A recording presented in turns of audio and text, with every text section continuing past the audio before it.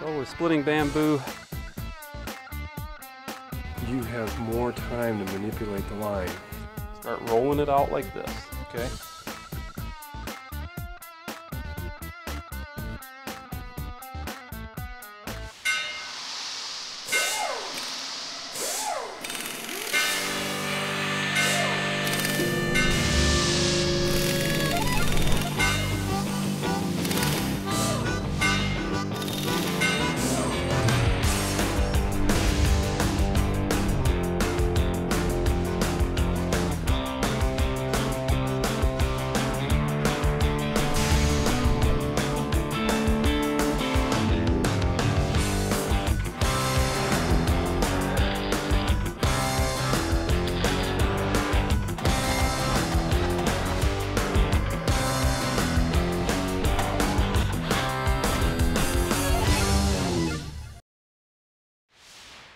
Hello, everybody, and welcome to Factory to Field.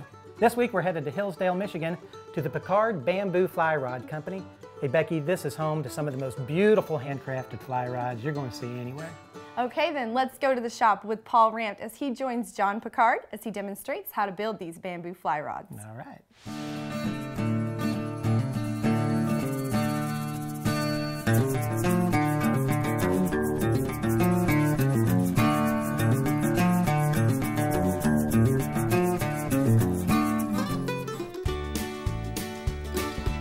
Know, not all factories are large. Actually, John's factory's in his backyard. He's one of the few people in the world that hand makes fly rods out of Tonkin bamboo. John, what are we doing today? Well, we're splitting bamboo, Tonkin bamboo to make uh, some fly rods. How many times do you got to split this? Um, roughly it's split into uh, a pole of bamboo usually yields about 24 strips that are about a quarter inch wide, 3 eighths inch wide. And will that make one fly rod? That'll make one fly rod. Can I split some? Um, sure. Not much to it.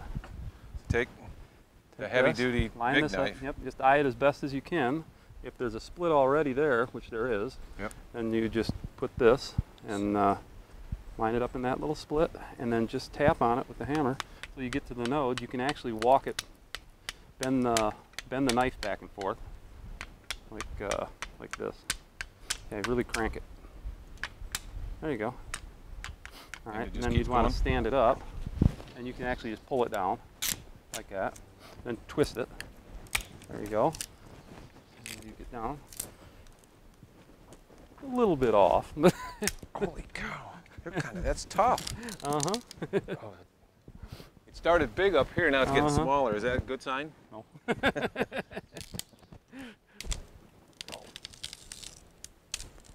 you go. Wow, that's that Okay, kind of turned out well. really bad. hmm What do you do with the bad stuff? Burn it. You burn it? yep. well, you know what? You show us how it's supposed to be done. All right. Splitting bamboo actually is very difficult. In fact, it takes years of experience just to learn how to do that. John's done it so well, he still has all 10 fingers.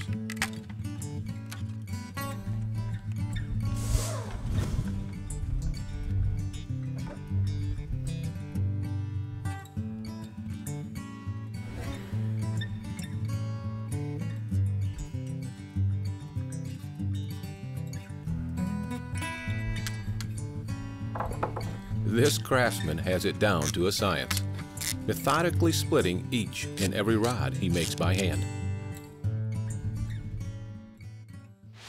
So now that they're all split, what's the next step after this? Well, we go in and we get them prepped to run through the roughing mill. We have to take the Okay. nodes off and the inner dams off and point up the ends so they can run through the mill. Let's go see how that's done right now.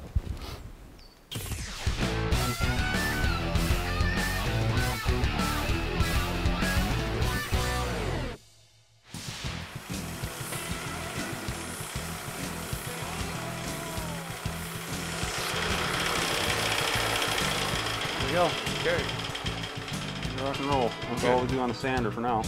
So here, next step would be what? We run it through that mill. This mill right here. Mm-hmm.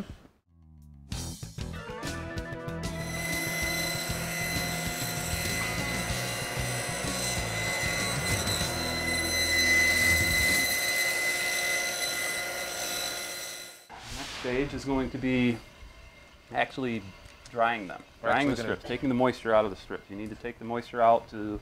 Um, there's two types of cells in bamboo. You got your, I hope I don't murder them, an intracellular and an extracellular Okay. that hold moisture. The extracellular is the, mo- the moisture in the air that moves freely through stuff year round. Okay, the other moisture is like what they do to kiln dried wood. They take that intracellular moisture out that's inside the cell. When they dry that out, kind of like the process of uh, prunes. Like you, once you take a uh, plum and you put it through nitrogen and take all the moisture out of it from the in, inner cells, it will never be a plum again. I don't care if you throw it in water and soak it; it's never going to soak up that water Right. in those cells once it's been once you take that moisture out. And the same thing with bamboo.